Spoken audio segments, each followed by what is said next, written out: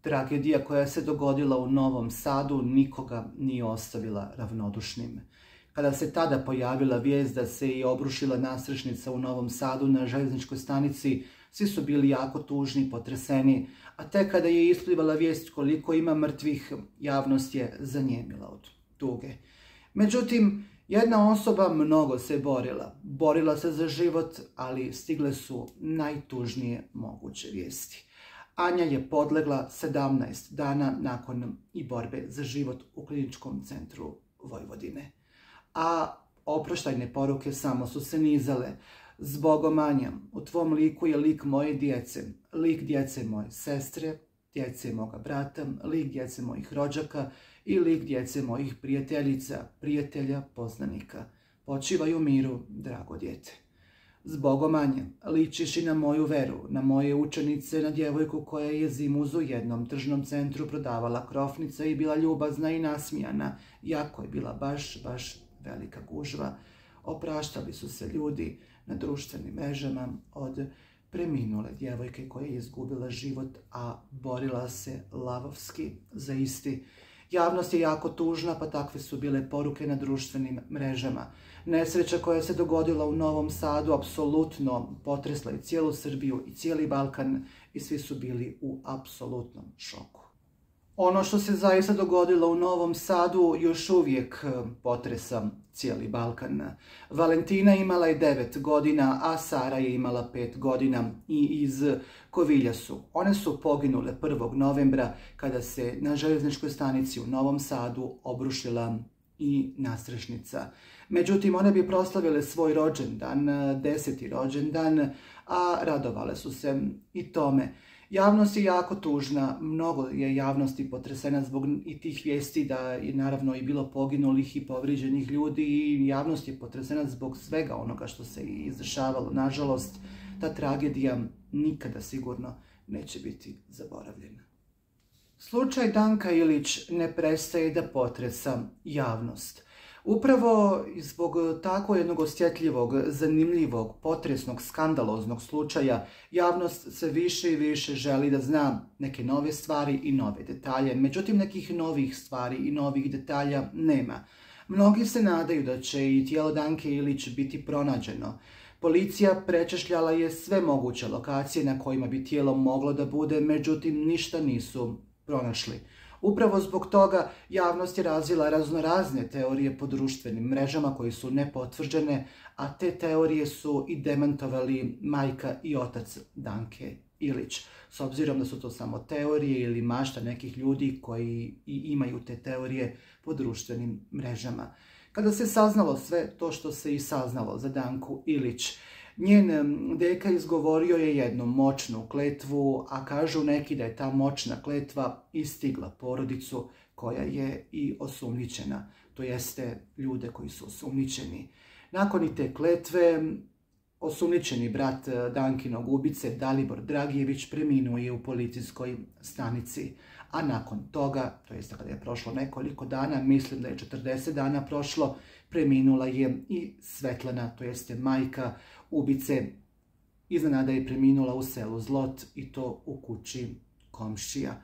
Međutim, dvije rake u novom Zlotskom groblju iskopane su samo tri dana prije smrti Dalibora Dragijevića, koji je preminuo u policijskoj stanici, a naručili su ih Radoslav Dragijević i njegova supruga Svetlana, koja je također preminula 40 dana posle sina Javnost nakon ovoga naravno da je i dobila jezu i kažu kako je ovako nešto moguće, jer s obzirom da je i deka uputio jednu moćnu kletvu, kažu ljudi da je ta kletva sustigla i neke članove porodice.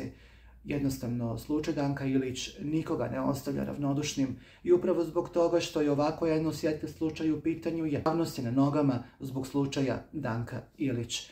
Sve ono što se izdešavalo tada navelo je javnost da komentariše sve to na društvenim mrežama. Naravno i dan danas ima ljudi koji imaju svoje raznorazne teorije, ali ono što se treba znati je da u teorije zavjere se ne treba vjerovati, već isključivo u dokaze i ono što je naravno i potvrđeno.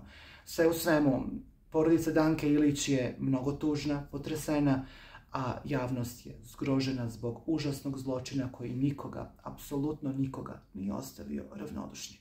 Ta nesreća koja se dogodila tada izazvala je i veliku tugu u javnosti. Danas bi napunio 18 godina, ali nažalost preminuo je.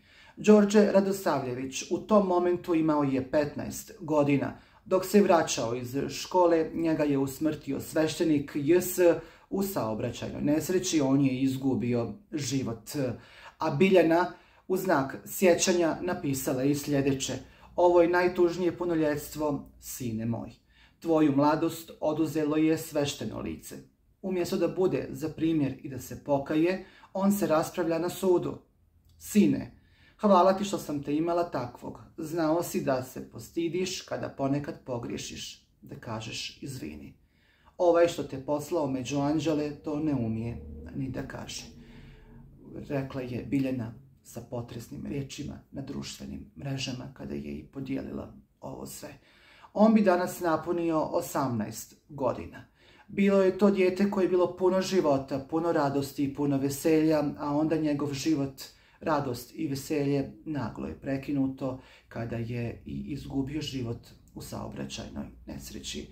Ona je rekla u svojoj objavi da svešteno lice i ne umije da pokaže da mu je žao, već se raspravlja na sudu, komentarisala je ona. Njegovi drugovi opraštaju se od njega na društvenim mrežama i naravno sa najljepšim mogućim porukama i ispisanim po društvenim mrežama oprostili su se od svog prijatelja. Javnost je naravno imala i apel na ovaj, sve ljude koji su u saobraćaju, a to je da nebitno da li ste u saobraćaju, pješak ili vozač, da uvijek otvorite četvere očiju i da apsolutno uvijek budete oprezni jer nikada ne znate da li neka vaša nepažnja u nekom momentu može da ugrozi nečiji život, pa da i sami svoj život na kraju krajeva ugrozite, a takvih je mali milion primjera. Đorđe Radosavljević napunio bi 18 godina, a dok se vraćao iz škole, njega je i usmrtilo svešteno lice. Sve ovo dešavalo se 25. januara 2022. godine a u znak sjećanja na Đorđa i njegovo punoljetstvo, porodica, prijatelji su ispisali najljepše moguće poruke na društvenim mrežama.